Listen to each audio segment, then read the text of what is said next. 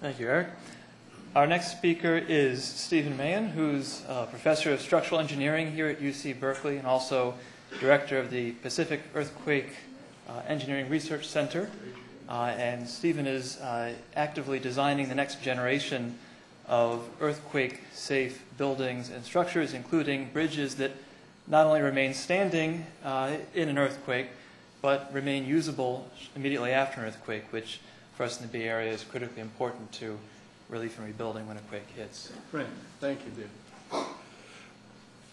It's a pleasure to be here. I also was in Japan and came back just uh, one day prior to the earthquake, uh, and some of my colleagues were at the same meeting on urban earthquake engineering, and they had the great pleasure of being stuck in the uh, Narita airport for two days, I believe, and uh, some uh, managed to stay in Tokyo, and uh, we had a report back from one of them uh, middle of last week on some of their early impressions of what happened there.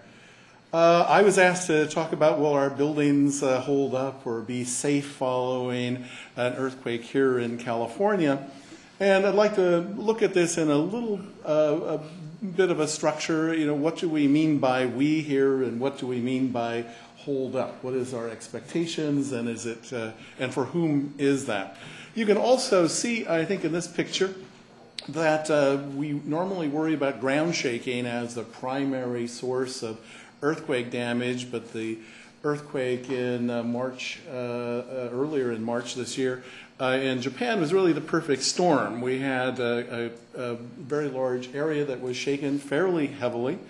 Uh, we had a tsunami, and we also had fires. And you can see that there are likely to be also other aspects of this with public health problems associated with not having water water treatment facilities, a lot of toxic chemicals and certainly radiation going around the atmosphere, worrying about whether you can drink milk or eat sushi or drink water. Uh, and so there's some long-term consequences that bring together all of the expertise that we can provide from the sciences and from engineering. And so I like to try and look at this in some systematic fashion. So the question is, will our buildings hold up? All right, so uh, I think the first observation is that engineering and quality construction really matter. That if you go to uh, the news and look at uh, the reports of what happened in Pakistan and Indonesia and some parts of Turkey, uh, Wenchuan earthquake and China, there are hundreds or sometimes millions of houses that are damaged, uh, half a million people homeless, sometimes two or three hundred thousand people killed. And if you look then what happens in Chile, New Zealand, the United States, and even in Japan now, the fatalities are far smaller than that. And if you look at the engineered structures in Japan, there's very few of new buildings that are highly damaged.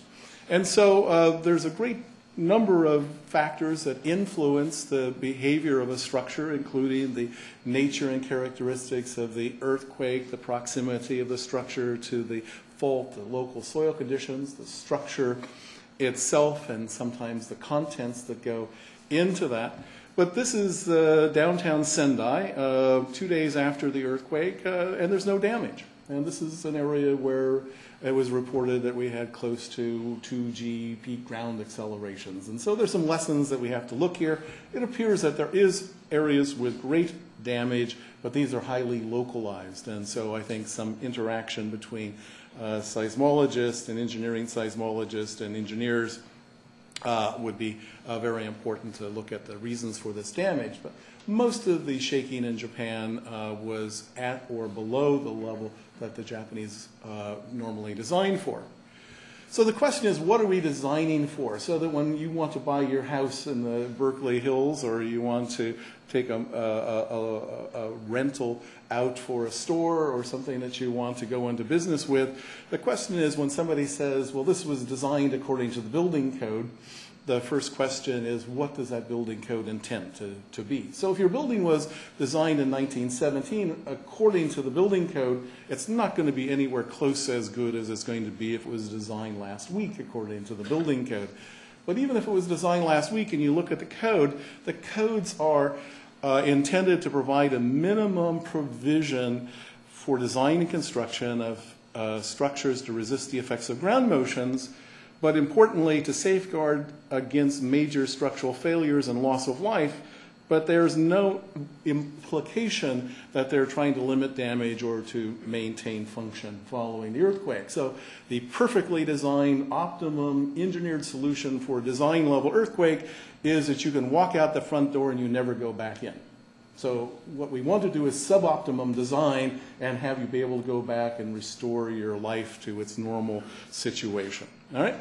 So there's cases where people do this uh, for a lot of different applications, and so uh, the automobile industry has crumple zone and airbags, and people haven't established airbags yet for um, earthquake effects on structures, but maybe that's coming with some enterprising person, but you might expect that your structure is like this with fair amounts of damage, uh, but a permanent offset at the bottom of it, that it might now be when the ground moves two meters in one direction, the building may decide to stay where it's at or move only a meter, and so the building has an offset like this. This becomes very difficult to uh, repair especially if that's at the 15th floor of a 30 story building. And so uh, this is safe.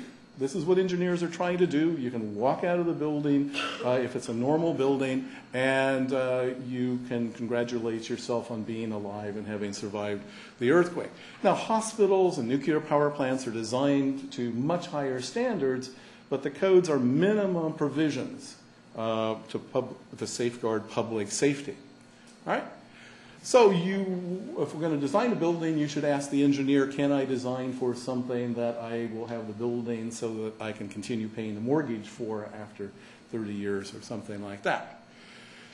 Uh, you know, so this is also a matter of risk and risk management. So earthquake engineering is really a matter of applying sound principles of dynamics and mechanics and so on to uh, a, a, practical problem. But it's also a matter of making uh, informed, uh, risk-informed trade-offs in terms of the design process. And so if we have a general thing of what is the probability distribution for some response parameter ha happening like this, we'll get sort of a distribution like, like this. Uh, and the engineers then will try to design a structure that has a capacity greater than the um, uh, demand on the structure. And so the average capacity is greater than the average demand, but the probability that the demand exceeds some of the capacity of the structures is still a finite number. So there's going to be some probability of having then some damage, and engineers then focus on controlling that to what is an acceptable level. And what is acceptable is in the eye of the beholder. So in the last few weeks there's been discussions, well, the Japanese should have known that this was going to be a big earthquake because in 896 or something like that, there was a big earthquake that was similar to this one. Well, there are extreme events, and so engineers, if they're concerned about this, and owners then would simply move the capacity of the structure over so that we can minimize the probability of some type of, of failure like, like that. And so performance-based earthquake engineering is a, a, topic that has been around for now about 15 years. And so uh, we're able to do that with some confidence, but there's a great uncertainty in each of the steps along the way. How have we done? So if we do all new buildings perfectly, there's still a large inventory of buildings that were designed 10 years ago, 20 years ago, 30 years ago, 50, uh, and 100 years ago in some places.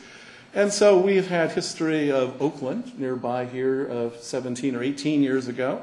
Um, in Northridge, uh, there's been problems with the water supply systems. If you have a fire like in the Oakland Hills, you don't have water, you have some problems like this to fight the fires that uh, we might have. But if we get to modern buildings, you'll see something like the lower left-hand corner here. And when you go around and look at earthquakes, one of the identifiers of damage is not looking at the building like you might in Turkey or Indonesia or Pakistan and so on to see rubble on the ground, but you see the ubiquitous chain link fence where people are being kept out of the building. And so you can see that there's some panels removed here. And there's buildings in Northridge that had, there's more than 200 buildings in Northridge that had brittle fractures in the steel welded buildings, much like Soda Hall, same vintage of building, uh, that were fractured like this and had to be repaired. So lots of retrofits are underway in the state, and engineers and the public are working to mitigate that. On campus, we have a safer program that is retrofitting lots and lots of buildings or removing buildings that are not so safe. The whole Bay Area has some vulnerability to earthquakes from a number of faults in that area. Uh, to get some more information about that, the local Northern California chapter of the Earthquake Engineering Research Institute is just coming out with a new report of what would happen if we had a magnitude 7 earthquake on the Hayward Fault, which is not the biggest earthquake we could have, but it is a feasible representative fault.